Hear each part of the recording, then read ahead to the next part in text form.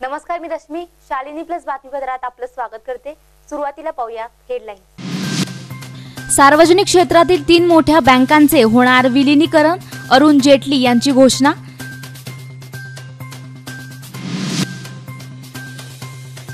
सगळ्यात मोठा पक्ष म्हणून आम्हाला सत्ता द्या. काँग्रेसच्या पंधरा आमदारांची राज्यपालांकडे मागणी. फडणवीस सरकारच्या तिसऱ्या मंत्रिमंडळ विस्ताराचा मुहूर्त निश्चित दहा ऑक्टोबरला विस्तार होण्याची शक्यता. नाशिकमध्ये स्वाईन फ्लूचे थैमान चोवीस तासात तिघे मृत्युमुखी.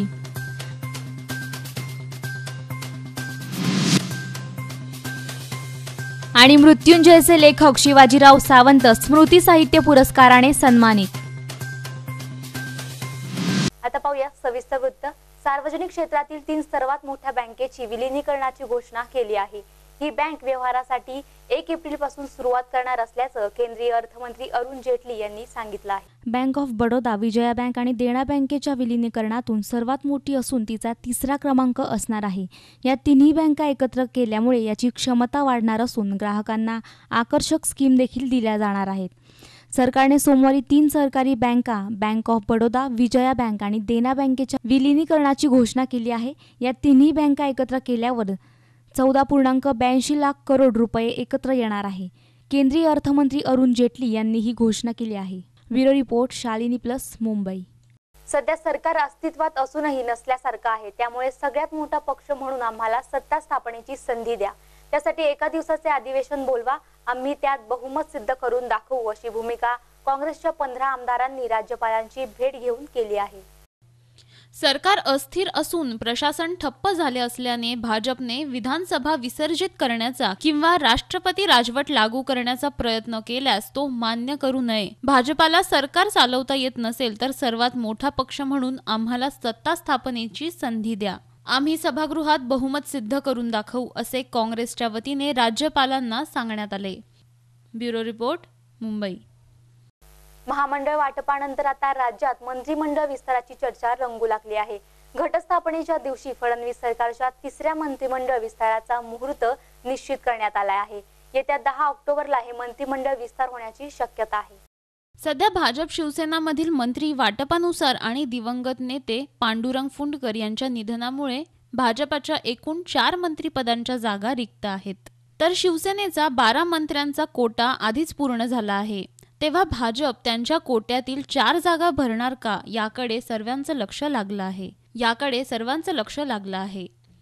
मुख्यमंत्री देवेंद्र फडणवीस आणि नंतर पंतप्रधान नरेंद्र मोदी यांच्यासोबत चर्चा केल्यानंतर विस्तारावर शिक्कामोर्तब झाल्याचं बोललं जात आहे. एकनाथ खडसे यांचं कमबॅक अजूनही गुलदस्त्यातच आहे.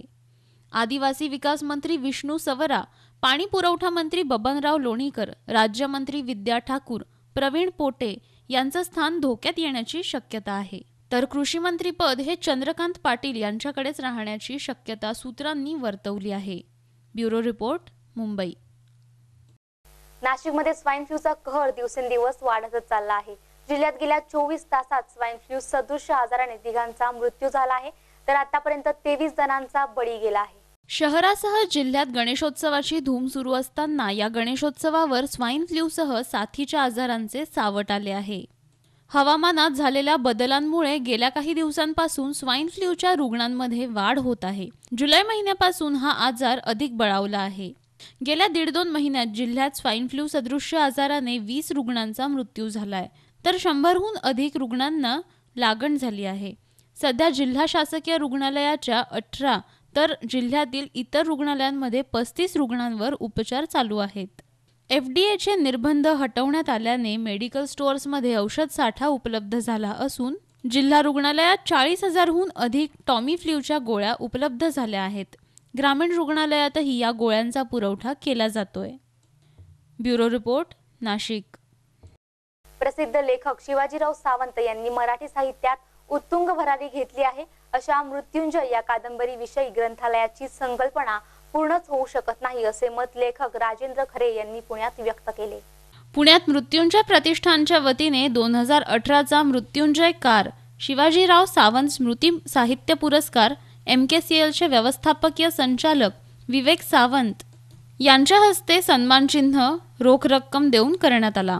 समाजकार्यासाठी रेणुताई गावस्कर यांना गौरवण्यात आले. तर लेखक शिवाजीराव सावंत यांचे कार्य हे अलौकिक आहे.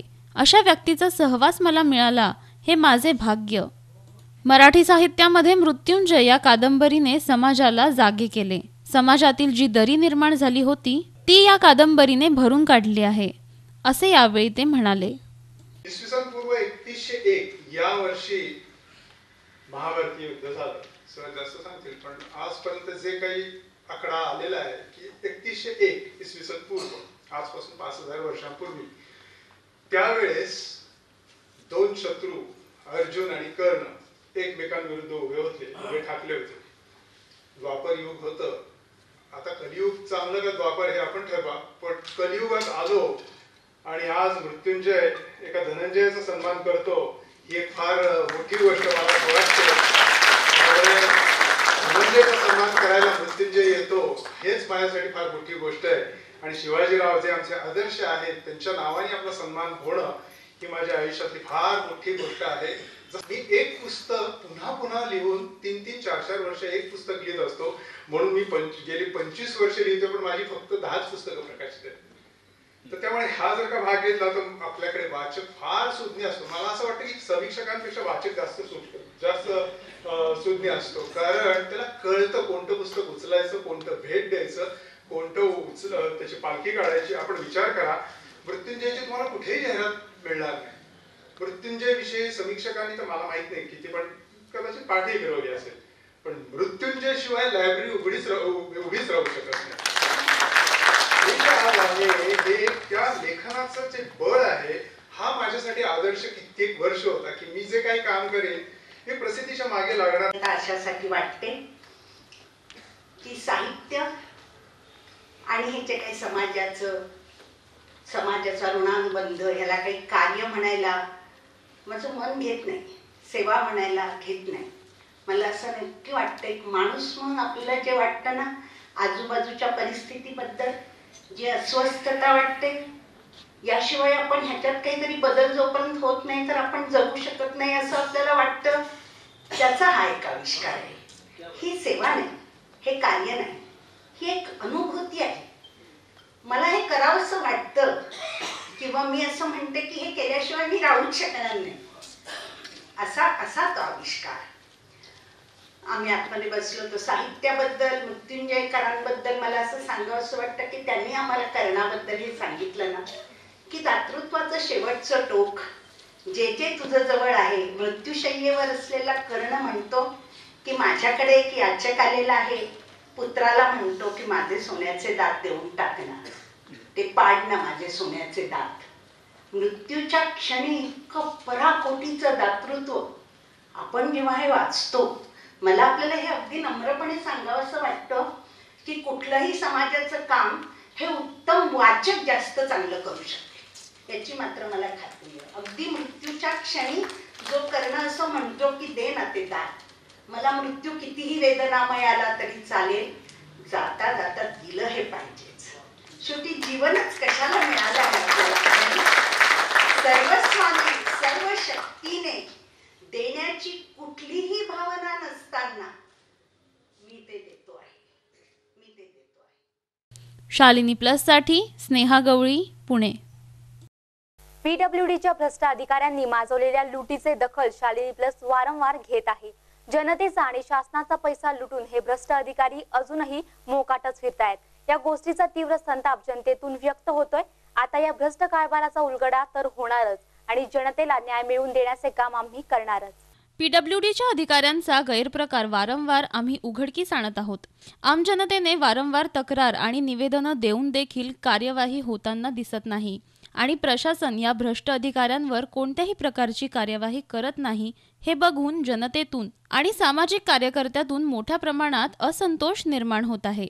प्रचंड प्रमाणात निधी खर्च करून देखील दिवसेंदिवस रस्त्याची दुरवस्था होत चालली आहे. अपघाताच्या प्रमाणात दिवसेंदिवस वाढ होत असून याकडे पीडब्ल्यू डीच्या अधिकाऱ्यांचे दुर्लक्ष होत आहे. केवळ सरकारच्या तिजोरीवर डल्ला मारण्याचा मोठा घोळ येथे सुरू आहे. निकृष्ट पद्धतीने बनवलेल्या रस्त्यावर आज हजारो अपघात होऊन निर्दोष लोक आपला जीव गमावतायत. हे सगळं केवळ या भ्रष्ट अधिकाऱ्यांमुळेच. शेवटी एवढे होऊनही यांचे वरिष्ठ कार्यवाही करत नाही. आलेल्या माहितीनुसार असं कळतंय की केवळ पदोन्नतीमध्ये कुठलाही अडथळा नको म्हणून कोणतीही कार्यवाही घेतली जात नाही. भ्रष्टाचार करा आणि पदोन्नती मिळवा असे स्वरूप या विभागाला सध्या प्राप्त झाले आहे. शेवटी आम्ही आपणास सांगू इच्छितो की शालिनी प्लस हे भ्रष्टाचार विरोधी आपली मोहीम चालूच ठेवणार आहे आणि भ्रष्ट कातडीच्या अशा अधिकाऱ्यांचा पर्दाफाश करून जनतेला न्याय देण्याचे काम आम्ही करत राहू. Bureau report Satara. सार्वजनिक बांधकाम विभाग जव्हारमध्ये मोठ्या प्रमाणात अफरातफर पाहायला मिळत आहे. ठेकेदार आणि अधिकाऱ्यांच्या साठगाठीतून बोगस कामे झाल्याचं देखील अंदाज सामान्य जनतेकडून वर्तवण्यात येत आहे. पाहूयात या संदर्भातील ही बातमी. सार्वजनिक बांधकाम विभाग जव्हारमध्ये अधिकारी आणि ठेकेदारांची साठगाठ पाहायला मिळत आहे. सुशिक्षित बेरोजगार हे प्रत्यक्ष कामं न करता फक्त टक्केवारीतच समाधान मानताना दिसून येत आहेत. यामध्ये सर्व व्यवहार हे ठेकेदारच करतात. विशेष म्हणजे सुशिक्षित बेरोजगार हे सार्वजनिक बांधकाम विभागात कधीच येत नसतानाही त्यांच्या सर्व कागदपत्रांवर सह्या या ठेकेदारच करत असल्याचं समजतंय. शासनाने सुशिक्षित बेरोजगारांना पंधरा लाखांपर्यंतचे काम वाटप करताना ते विनानिविदा पद्धतीने करावे असा निर्णय दोन हजार सात साली घेतला होता. मात्र त्यामुळे भ्रष्टाचारामध्ये मोठ्या प्रमाणात वाढ झाल्याने आणि असंख्य तक्रारी आल्याने शासनाने दोन हजार तेराला या नियमांमध्ये फेरबदल केला होता. सामान्य प्रशासन विभागाच्या एकोणावीस जानेवारी दोन हजार तेराच्या शासकीय निर्णयानुसार शासनाच्या सर्व दहा लाख किंवा त्यापेक्षा अधिक रकमेच्या कामाचे वाटप करताना ई निविदा कार्यप्रणाली अवलंब करावा असे स्पष्ट केले होते. या पद्धतीने दिनांक पंचवीस मार्च दोन हजार तेरा रोजी सार्वजनिक बांधकाम विभागाने याच नियमांची अंमलबजावणी बंधनकारक केली होती. तरीही दोन हजार चौदा पासून आतापर्यंत कोट्यवधी रुपयांच्या कामाचे वाटप हे या नियमांना डावलून गैरमार्गाने झाल्याचे समोर येत आहे. या सुशिक्षित बेरोजगारांच्या कामाची सखोल चौकशी करण्याची मागणी जनसामान्यातून होत आहे. सुशिक्षित बेरोजगाराच्या नावावर कामे घेऊन ठेकेदार आणि अधिकारी परस्पर साठीगाठीत कामं न करतात बिले लाटत असल्याचा आरोप स्थानिक नागरिकांकडून होत आहे. यामध्ये सखोल चौकशी होऊन दोषी अधिकारी आणि ठेकेदारांवर योग्य कारवाई करण्यात यावी अशा मागणीने आता जोर धरला आहे. Bureau report Jawhar. चिखलीमध्ये गौरी पूजनातून शिक्षण आणि संस्कृती रक्षणाचा संदेश देणारी विविध ठिकाणांची सजावटीची झलक पाहायला मिळाली. गोडधोड पदार्थांची आरास आकर्षक मखर चमकदार रोषणाई अशा अनेक प्रकारे महालक्ष्मी पूजनाचा उत्सव पार पडला. माहेरवासिनी गौराईच्या आगमनानिमित्त सर्वदूर विविध पद्धतीने गौरी गणपतीचे स्वागत प्रतिवर्षी मोठ्या उत्साहात केले जाते. चिखली शहरातही आनंद आणि उत्साहात गौराईचे स्वागत आणि आदरातिथ्य करण्याची पूर्वापार परंपरा आहे. शहरातील अनेकांच्या घरी यानिमित्त आकर्षक आणि देखणी सजावट केली जाते. यंदाच्या वर्षी जुनागाव परिसरातील अतुल भराड यांच्याकडील शिक्षण आणि संस्कृती रक्षणाचा सामाजिक संदेश देणारी सजावट शहरवासियांसाठी आकर्षणाचा विषय ठरताना दिसून आली. त्यांनी घरच्या सजावटीत महालक्ष्मीला जिजाऊ आणि सावित्रीच्या रूपात दर्शविले आहे. त्यात तलवार धारण केलेल्या आईसाहेब जिजाऊ मावळ्यांना स्वराज्य आणि संस्कृती रक्षणाचे प्रशिक्षण देताना तर पाटील लेखणी घेऊन मुलींना शिक्षित करणाऱ्या सावित्री फुले यांचे रूप आणि धाडसीपणा प्रसारित होत आहे. मखरांमध्ये विविध धान्यांच्या राशी फळ फराळ मातीची खेळणी आणि अन्य सजावट साहित्यांबरोबरच सामाजिक संदेश देणारी फलकं या कल्पनेची भूमिका स्पष्ट करतात. सर्वप्रथम सर्वांना गौरी गणपतीच्या खूप खूप शुभेच्छा. दरवर्षीप्रमाणे आम्ही यावर्षीसुद्धा काहीतरी वेगळं आणि विशेष दाखवण्याचा प्रयत्न केलेला आहे. तुम्ही पाहता आहे की इथे जिजाऊ आणि सावित्रीबाई फुले यांना आम्ही महालक्ष्म्यांच्या भूमिकेत दर्शवलेलं आहे. जिजाऊ ज्यांनी संस्कृतीतून शुभा घडवला आणि सावित्री माता ज्यांनी शिक्षणातून मुलींना घडवले पण आज त्याचे विपरीत परिणाम दिसत आहेत जसं जिजाऊंनी शिवाजी महाराजांना संस्कारातून काहीतरी चांगला उद्देश किंवा पुढच्या पिढीसाठी घडवण्यासाठी जे काही चांगले संस्कार दिलेत आज त्याचे विपरीत परिणाम होत आहेत. हे तुम्हाला आम्ही इथे दाखवण्याचा प्रयत्न केलेला आहे. तसेच शिक्षणाचा चांगल्या उद्देशाने सावित्रीबाई फुलेंनी देण्याचा प्रयत्न केलेला आहे. पण त्याचा आज अतिरेक होतो आहे मुलींना चांगल्या कार्यासाठी त्यांनी बाहेर काढलं पण त्याचा दुरुपयोग मुली घेत आहेत हे आम्ही इथे तुम्हाला दाखवत आहोत. आपले सण साजरे करत असताना आपण आपल्या ज्या परंपरा आहेत ह्या जोपासतो. त्याचप्रमाणे आपण इतिहासाचं सुद्धा भान ठेवलं पाहिजेत आणि जे कर्तृत्वान माता जिजाबा माता आणि सावित्रीबाई ह्या यांनी आपल्याला चांगलं नेतृत्व दिलेलं आहे. शिवाजी महाराजाच्या रूपानं आणि सावित्रीबाई फुलेंनी शिक्षणाचा वारसा दिलेला आहे. दोन्ही मातांच्या कर्तव्यातून या महाराष्ट्राचं नाव जगभर उज्ज्वल झालेलं आहे. आणि आजच्या पिढीने सुद्धा यांच्याकडून शिकण्यासारखं आहे. त्यासाठी हा सर्व खटडोप केलेला आहे. तरुण पिढीने सुद्धा यांचा शिक्षणाचं भान ठेवावं. आणि चांगले वर्तन आपल्या जीवनामध्ये आणावे. हाच आमचा इथे एक हेतू आहे. त्यासाठी चांगल्या इथे एक, हे केलेलं आहे. सर्व आणि सर्वांनी यामध्ये शिक्षण घ्यावं असाच आमचा इथं उद्देश आहे. शालिनी प्लससाठी योगेश शर्मा बुलढाणा. महाराष्ट्रातील ख्यातनाम लोकदैवत आणि कोट्यवधी भाविकांचे श्रद्धास्थान असलेल्या शिवशंकर अवतारी जेजुरी गडावर आद्य गणपतीची अनेक रूपे शिल्परूपात दिसून येतात. जेजुरी गडाच्या पायथ्यापासून जागोजागी असलेले अनेक मंदिरे आणि त्यांचे प्रवेशद्वार तात्कालीन इतिहासापासूनच सजलेली आढळतात. श्री गणेशाचे प्रथम वंदन करूनच श्री खंडेरायाच्या दर्शनाला जाता येते. येथे गडाच्या मुख्य देऊळवाड्यात महत्त्वपूर्ण विविध आकाराच्या आणि ऐतिहासिक घराण्यांच्या साक्षी देत असलेल्या आकर्षक दीपमाळा दिसतात. श्री गणेशाची शिल्प तसेच कोरीव मूर्त्या या मांगल्याचे प्रतीक आणि शिवशंभू पुत्र असल्याने खूपच महत्त्वाचे मानले जाते. इतिहासातील सरदारांच्या काळात खंडोबाला पुत्रप्राप्तीसाठी नवस केला जात असे. वंशाला दिवा मिळू दे मी तुझ्या मंदिर प्रांगणात दीपमाळा उभी करेल असा नवस त्यावेळी केला जात होता. आणि नवस्पूर्तता म्हणून दीपमाला प्रथम गणेश शिल्प साकारून उभी केली जात असत. आणि म्हणूनच या दीपमाळा आजही त्या गडावर उभारलेल्या बघण्यास मिळतात. याशिवाय जेजुरी गडावरील साक्षी विनायक ही खंडोबा पुराण निर्मितीत महत्वाची भूमिका पार पाडतं. सल्याचे पुरावे ग्रंथात मिळतात. पार्वतीने खंडोबा अवतारात ज्याला शंकराची भार्या होईल असे वचन दिले आणि पुढे ज्या बानुबाई म्हणून खंडोबाची दुसरी बायको झाली. परंतु पार्वती म्हाळसा अवतारात हे वचन विसरून गेली. याची साक्ष म्हणून खंडोबाने गणपतीला उभे केले. म्हणून जेजुरी गडावरील गणेशास साक्षी विनायक म्हणून संबोधले गेले आहे. अशी आख्यायिका सांगितली जाते. म्हणूनच प्रथम साक्षी गणेशाचे दर्शन घेऊनच श्री खंडेरायाचे दर्शन घेतले जाते. याशिवाय जेजुरी यात्रा पूर्ण होत नाही असे म्हटले जाते. या संदर्भात खंडोबा आणि मल्लासूर युद्धात मल्ल सेनापती उल्कामुख यास गणेशाने पराभूत केले. यानंतर गडावर गणपतीची स्थापना करण्यात आली. अशा अनेक घटनांचा साक्ष म्हणून गडावर सर्वत्र गणेश प्रतिमा शिल्प आढळतात. आणि बहुजन बांधवांचा लोकदेव म्हणून जेजुरीचा खंडेराया प्रचलित असला तरी महाराष्ट्राच्या मराठी संस्कृतीमध्ये आराध्य दैवत हे श्री गणेशाला मानलं जातं. कुठल्याही कामाची सुरुवात कार्याची सुरुवात करताना पहिलं श्री वंदन श्री गणेश वंदन आणि पूजन होतं आणि त्यानंतर मग पवित्र कामाची सुरुवात होते.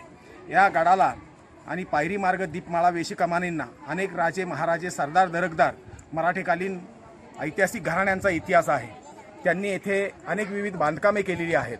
या बांधकामाची सुरुवात करताना पहिली गणेशाची मूर्ती आपल्या जेजुरीच्या खंडोबा गडावर पायरी मार्गावर अनेक ठिकाणी दिसते. खंडोबा गड कोट परिसर आणि पायरी मार्गावर सुमारे चौदा ते पंधरा विविध गणेशांच्या मूर्ती अ, येथे स्थापन केलेल्या दिसून येतात. शालिनी प्लससाठी विजयकुमार हरिश्चंद्रे पुरंदर. बातमी बदलत वेळ झाली आहे छोट्याशा विश्रांतीची विश्रांतीनंतर पुन्हा भेटूया तुम्ही पाहत राहा शालिनी प्लस अप्पा ये चीटी खाना कैसे चबाती है? सुबह सुबह शुरू। अप्पा हाँ, ये आवाज़ दिखती क्यों नहीं? दिखती है बेटा कभी कभी दिखती है। हं? ये पहिया चलता कैसे है? माँ को आपकी तरह मुझे क्यों नहीं होती? अप्पा हाँ। दिन में तारे क्यों नहीं दिखते? अप्पा अप्पा बोलो ना। आके बोलता हूँ पक्का। घर चला अप्पा अप्पा ये पेड़ की इधर सुबह शाम सवाल पे सवाल। अरे इसमें इतनी जिज्ञासा है तो इसे स्कूल क्यों नहीं भेजते? गरीब आदमी है साहब कहाँ से पढ़ाएगा? इसे सरकारी स्कूल भेजो ना। अब तो शिक्षा है हर बच्चे का अधिकार। अब्बा अब तो मेरा पढ़ना पक्का। हाँ पक्का। अब्बा हम्म, ये मिर्ची इतनी तीखी क्यों होती है? कल स्कूल में मास्टर जी से पूछ लेना। हम्म? सांभर चाहिए तो शिक्षा है अब हर बच्चे का अधिकार अब पढ़ना पक्का। विश्रांतीनंतर पुन्हा एकदा आपले स्वागत. आता पाहूया पुढील वृत्त. वर्धामधील वायगाव येथे भोंदगिरी करून लाखोंची माया गोळा करणाऱ्या शंकर बाबाचा अनिष्ट कार्यकर्त्यांनी भांडाफोड केला आहे. शंकर वरघणे या भोंदू बाबाला अटक करण्यात आली आहे. समुद्रपूर तालुक्यातील वायगाव येथे करणी उतरवण्यासाठी दहा हजाराची मागणी करून पैसे न दिल्यास दैवी शक्तीने मूठ मारून जीवे मारण्याची धमकी देणाऱ्या अट्टल भोंदू बाबाला अखिल भारतीय अंधश्रद्धा निर्मूलन समिती आणि गावातील युवकांनी पुढाकार घेत पोलीस ठाण्यात दिलेल्या तक्रारीवरून पोलिसांनी अटक केली आहे. शंकर वरघणे उर्फ शंकर बाबा असे भोंदूबाबाचे नाव आहे. शंकर वरघणे वरोरा तालुक्यातील लाडकी येथील रहिवाशी असल्याची माहिती प्राप्त झाली आहे. गावातील एका रुग्णाकडून उपचार करण्यासाठी पैशांची मागणी केली आणि जादूटोणा करण्याची धमकी दिली. शेवटी बाबाला कंटाळून अखिल भारतीय अंधश्रद्धा निर्मूलन समितीकडे त्यांनी तक्रार दिली. समितीचे तालुका संघटक प्रफुल कुडे आणि युवा तालुका संघटक संजित ढोके यांनी बाबांची सत्यता पडताळणी केली. बाबांच्या भोंदुगिरीची चित्रफिती बनवण्यात आली त्यानंतर अखिल भारतीय अन्नीसचे जिल्हा संघटक पंकज वंजारे आकाश जयस्वाल यांच्या मदतीने पीडित व्यक्तीने पोलिसात तक्रार केली. ठाणेदार प्रवीण मुंडे यांच्या मार्गदर्शनात पोलीस उपनिरीक्षक मिलिंद पराडकर उपनिरीक्षक माधुरी गायकवाड यांनी इतर पोलीस कर्मचाऱ्यांच्या सहकार्याने भोंदूबाबाला महाराष्ट्र नरबळी इतर अमानुष अनिष्ट व अघोरी प्रथा आणि जादूटोणा अधिनियम दोन हजार तेरा या कायद्याअंतर्गत अटक करण्यात आली. घटनास्थळावरून बाबाचे पूजेचे साहित्य कोरे प्रिस्क्रिप्शन पेपर रोख रक्कम बँकेचे पासबुक आदी साहित्य जप्त करण्यात आले आहे. दिनांक सतरा सप्टेंबर दोन हजार अठरा रोजी पोलीस स्टेशन समुद्रपूर येथे तक्रारदार नामे गंगाधरराव कळमकर हे पोलीस स्टेशनला आले आणि त्यांनी तक्रार दिली की मागील काही महिन्यापासून त्यांना ताप येऊन त्यांची प्रकृती बरोबर राहत नसल्याने त्यांनी बहुतेक डॉक्टर यांच्याकडे उपचार केले परंतु प्रकृतीत फरक पडत नसल्याने त्यांना वायगाव हदे येथील शंकर बाबा वर्गणे हे उपचार करतात अशी माहिती मिळाल्याने ते उपचाराकरता त्यांच्याकडे गेले. त्यावेळी शंकर बाबा उर्फ शंकर वर्गणे यांनी नाडी तपासून त्यांना तुमच्यावर कोणीतरी करणी केली आहे आणि करणीचा उतारा करण्याकरता तुम्हाला दहा हजार रुपये द्यावे लागतील असे सांगितले. परंतु त्यावेळी सदर तक्रारदार यांच्याकडे पैसे नसल्याने त्यांनी ते परत गेले. काही दिवसानंतर त्यांच्याकडून पै- पैशाची जुळाजुळ न झाल्याने त्यांनी परत शंकर बाबा यांच्याकडे जाऊन तुम्ही करणी काढून द्या अशी विनवणी केली. त्यावेळी शंकर बाबा यांनी त्यांना माझ्यात दैवी शक्ती असून तू मी तुझ्यावरील उतारा काढण्याकरिता देवांना बोलवलेलं आहे आणि तू जर मला पैसे दिले नाही तर मी तुझ्यावर करणी करून तुला मारून टाकेल अशी धमकी दिली. याच्याकडे जे जे व्यक्ती यायचे त्यांना हा दारूची मागणी करायचा. एका कागदावर सगळ्या साहित्याची तो लिस्ट लिहून द्यायचा. त्या लिस्टमध्ये दारूचा उल्लेख आहे. अशा काही चिठ्ठ्या पोलिसांच्याही हाताची लागलेल्या आहेत. आणि एकंदरीत याची सखोल चौकशी झाली पाहिजे अशी मागणी आम्ही पोलिसांना करतोय अखिल भारतीय अंधश्रद्धा निर्मूलन समितीकडनं की याची सखोल चौकशी व्हावी. आणि सोबतच स्थानिक नागरिकांचं आणि काही ज्यांच्या ज्यां- ज्यांच्या ज्यांच्याकडे हा गेला होता किंवा जे लोक याच्याकडे आले आणि काही प्रॉब्लेम क्रिएट झालेत त्यांच्याशी जेव्हा आम्ही पर्सनली जाऊन कारण आम्ही अडीच वर्षापासून या बाबाच्या मागे होतो याचा तपास काढत होतो प्रत्येक गोष्टीवर लक्ष ठेवत होतो. तर त्यांनी आम्हाला अशा गोष्टी सांगितल्या की काही मांत्रिक सुद्धा हा बाहेरून आणायचा. जसं एखाद्या एखाद्या हॉस्पिटलमध्ये एखाद्या स्पेशलिस्ट डॉक्टर बोलावला जात असतो त्या पद्धतीने हा दुसऱ्या ठिकाणून दुसऱ्या गावातून हा दुसरा मांत्रिक बोलवायचा आपल्याकडे.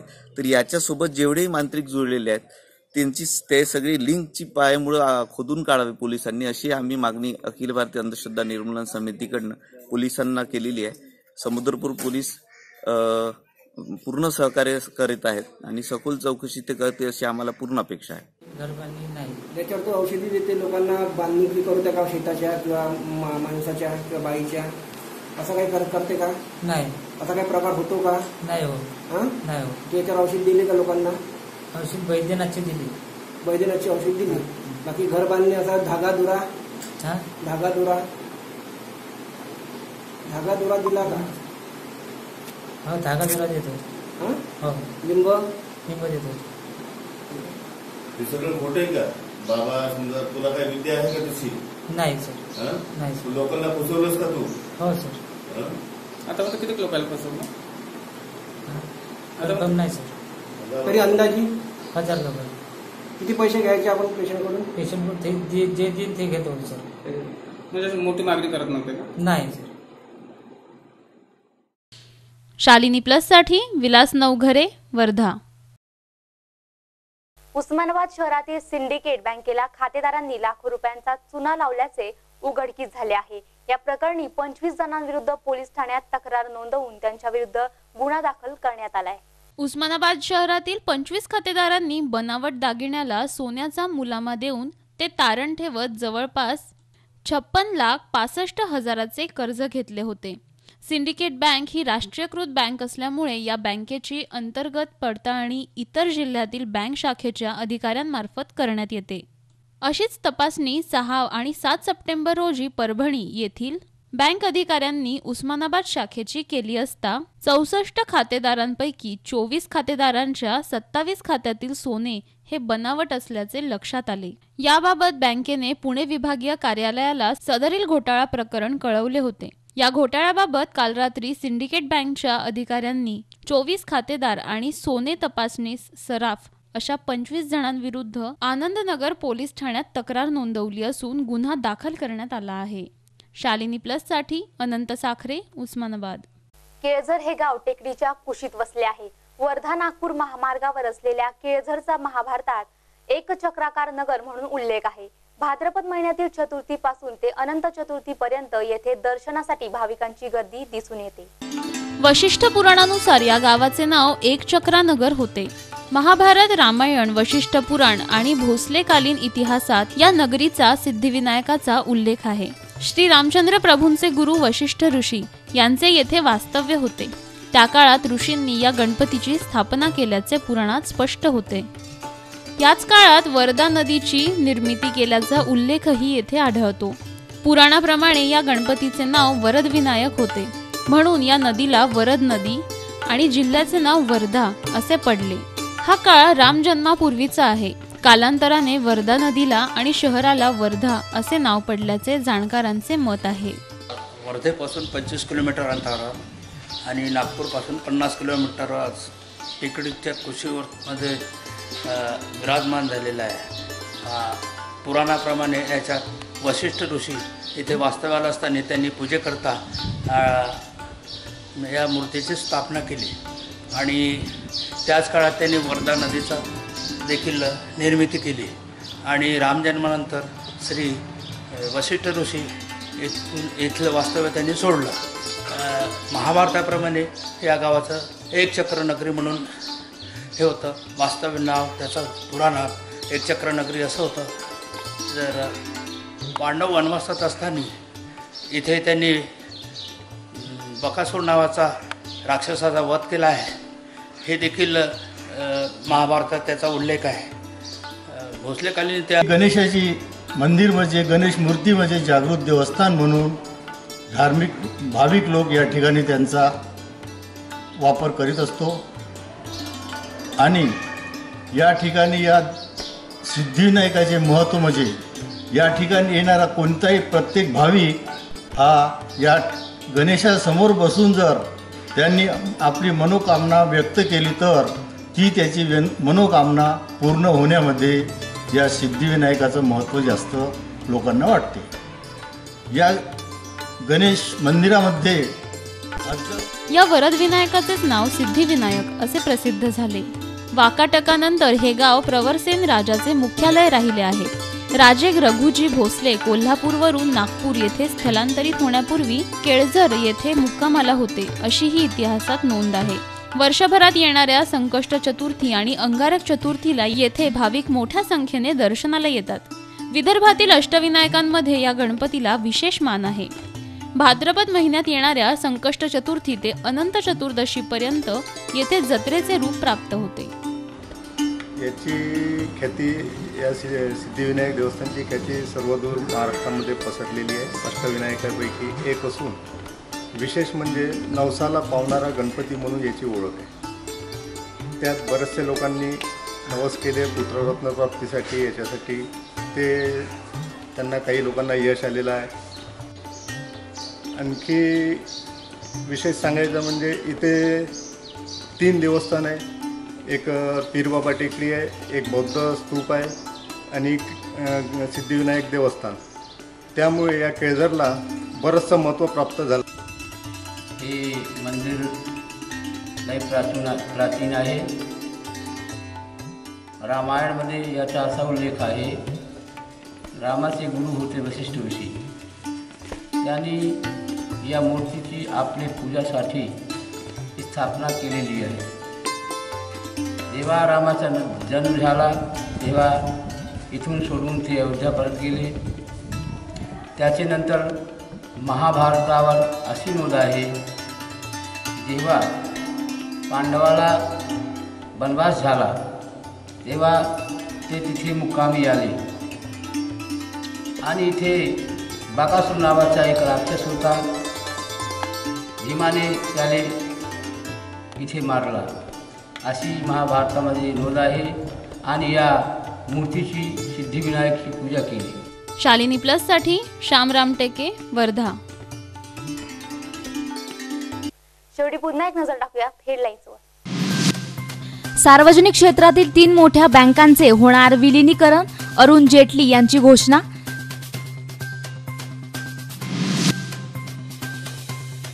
सगळ्यात मोठा पक्ष म्हणून आम्हाला सत्ता द्या. काँग्रेसच्या पंधरा आमदारांची राज्यपालांकडे मागणी. फडणवीस सरकारच्या तिसऱ्या मंत्रिमंडळ विस्ताराचा मुहूर्त निश्चित दहा ऑक्टोबरला विस्तार होण्याची शक्यता. नाशिकमध्ये स्वाईन फ्लूचे थैमान चोवीस तासात तिघे मृत्युमुखी.